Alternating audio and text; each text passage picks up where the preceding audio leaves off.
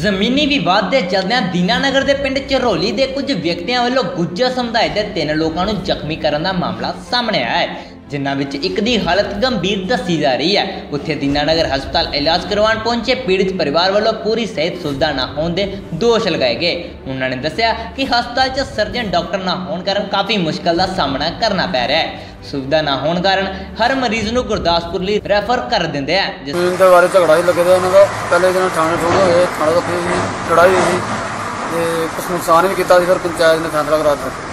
ਉਹਦੇ ਬਾਅਦ ਫਿਰ ਇਹਨਾਂ ਨੇ ਪਤਾ ਨਹੀਂ ਕੀ ਇਹਨਾਂ ਨੇ ਕੀ ਇਸ ਤਰ੍ਹਾਂ ਹਮਲਾ ਕੀਤਾ ਕੀ ਕੀਤਾ ਇਹ ਸਾਨੂੰ ਪਤਾ ਨਹੀਂ। ਸਵੇਰੇ ਅੱਜ 8 ਵਜੇ। ਉਸੇ ਪਾਰਟੀ ਨੇ ਕੀਤਾ ਉਸੇ ਦੁਬਾਰਾ ਪਾਰਟੀ ਨੇ ਉਹਨਾਂ ਬੰਦਿਆਂ ਨੇ। ਸਾਡੇ ਮਰੀਜ਼ ਦੇ ਇੱਥੇ ਆਏ ਸਵੇਰੇ ਫਿਰ ਇਹਨਾਂ ਨੇ ਰੈਫਰ ਕਰ ਦਿੱਤੇ ਗਏ।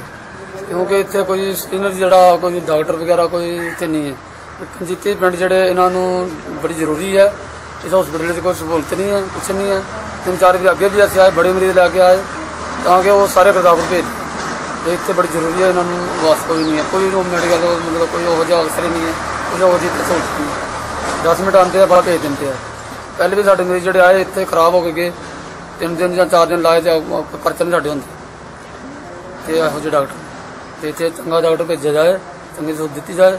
ਤਾਂ ਕਿ ਸਾਡੀ ਗਰੀਬਾਂ ਦੀ ਸਹੂਲਤ ਹੋਵੇ ਇਸ ਕਾਰਨ ਮਰੀਜ਼ ਨੂੰ ਖੱਜਲ ਖੁਆਰ ਹੋਣਾ ਪੈਂਦਾ ਹੈ। ਜਦੋਂ ਇਸ ਸੰਬੰਧੀ ਹਸਪਤਾਲ ਦੇ ਡਿਊਟੀ ਤੇ ਹਾਜ਼ਰ ਡਾਕਟਰ ਜੋਤਪਾਲ ਸਿੰਘ ਨਾਲ ਗੱਲਬਾਤ ਕੀਤੀ, ਤਾਂ ਉਹਨਾਂ ਨੇ ਦੱਸਿਆ ਕਿ ਉਹਨਾਂ ਕੋਲ ਪਿੰਡ ਚਰੋਲੀ ਤੋਂ ਇੱਕ ਝਗੜੇ ਤੇ ਤਿੰਨ ਜ਼ਖਮੀ ਵਿਅਕਤੀ ਆਏ ਸਨ, ਜਿਨ੍ਹਾਂ ਦੀ ਹਾਲਤ ਗੰਭੀਰ ਹੋਣ ਕਾਰਨ ਉਹਨਾਂ ਨੂੰ ਗੁਰਦਾਸਪੁਰ ਰੈਫਰ ਕਰ ਦਿੱਤਾ ਗਿਆ ਅਤੇ ਬਾਕੀ ਦੋਨਾਂ ਨੂੰ ਵੀ ਰੈਫਰ ਕੀਤਾ ਜਾ ਰਿਹਾ ਹੈ। ਉਹਨਾਂ ਨੇ ਦੱਸਿਆ ਕਿ ਹਸਪਤਾਲ 'ਚ ਸਰਜਨ ਦੀ ਸੁਵਿਧਾ ਨਾ ਹੋਣ ਕਾਰਨ ਹਰ ਵਾਰ ਮਰੀਜ਼ ਨੂੰ ਮੁਸ਼ਕਲ ਦਾ ਸਾਹਮਣਾ ਕਰਨਾ ਪੈਂਦਾ ਹੈ। ਇਸ ਕਾਰਨ ਉਹਨਾਂ ਨੂੰ ਗੁਰਦਾਸਪੁਰ ਰੈਫਰ ਕੀਤਾ ਜਾਂਦਾ ਹੈ।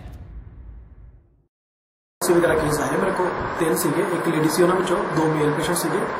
ਤੇ ਇੱਕ ਮੇਲ ਦੇ ਹੈਡ ਇੰਜਰੀ ਜ਼ਿਆਦਾ ਹੋਣ ਕਰਕੇ ਤੇ ਉਹਨੂੰ ਨਾਲ ਨੂੰ ਰੈਫਰ ਕਰਨਾ ਪਿਆ ਗੁਰਦਾਸਪੁਰ। ਉਸ ਜਾ ਕੇ ਟ੍ਰੀਟਮੈਂਟ ਚੱਲਦਾ ਪਿਆ ਅੱਗੇ। ਤੇ ਇੱਕ ਫੀਮੇਲ ਸੀਗੀ ਉਹ ਥੋੜਾ ਬਰਨਸ ਵਗੈਰਾ ਸੀਗੇ ਬਾਂਹ ਦੇ ਉੱਪਰ, ਠੀਕ ਹੈ? ਉਹਦੇ ਵਾਸਤੇ ਵੀ ਬਰਨਸ ਯੂਨਿਟ ਹੁੰਦਾ ਵੱਖਰਾ ਜਿਹੜਾ ਕਿ ਸਿਵਲ ਹਸਪੀਟਲ ਵਿੱਚ ਅਵੇਲੇਬਲ ਹੁੰਦਾ। ਉੱਥੇ ਉਹਨਾਂ ਐਡਮਿਸ਼ਨ ਦੀ ਲੋੜ ਹੈ। ਉਹਨਾਂ ਦੇ ਸਿਰ ਤੇ ਸੱਟ ਸੀਗੀ। ਇਸ ਕਰਕੇ ਉਹਨਾਂ ਸਕੈਨ ਵਗੈਰਾ ਦੀ ਲੋੜ ਮੈਨੂੰ ਜਾਪਦੀ ਸੀਗੀ, ਉਹਨਾਂ ਦੀ ਕਰਾਣੀ ਪਈ ਕਿ ਇਸ ਕਰਕੇ ਉਹਨਾਂ ਨੂੰ ਮੈਂ ਭੇਜਤਾ।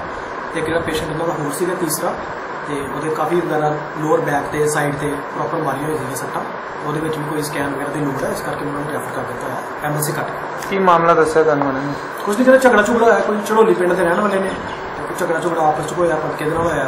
ਉਹ ਤਾਂ ਸਾਡਾ ਕੋਈ ਬਿਜ਼ਨਸ ਨਹੀਂ ਇਹਦੇ ਵਿੱਚ। ਇਸ ਹਸਪੀਟਲ ਵਿੱਚ ਸਰਜਨ ਦੀ ਕੋਈ ਫੈਸਿਲਿਟੀ ਹੈਗੀ ਨਹੀਂ ਸਰਜਨ ਦੀ ਫੈਸਿਲਿਟੀ ਕੋਈ ਨਹੀਂ ਕਦੋਂ ਤੋਂ ਆ? ਕਾਫੀ ਕਾਫੀ ਟਾਈਮ ਹੋ ਗਿਆ। ਮੇਰੇ ਕੋਲ 1.5 ਸਾਲ ਹੋ ਗਿਆ ਤੇ ਕੋਈ ਦੀਨਾਨਗਰ ਤੋਂ ਦੀਪਕ ਕੁਮਾਰ ਜੀਵੇ ਪੰਜਾਬ ਟੀਵੀ।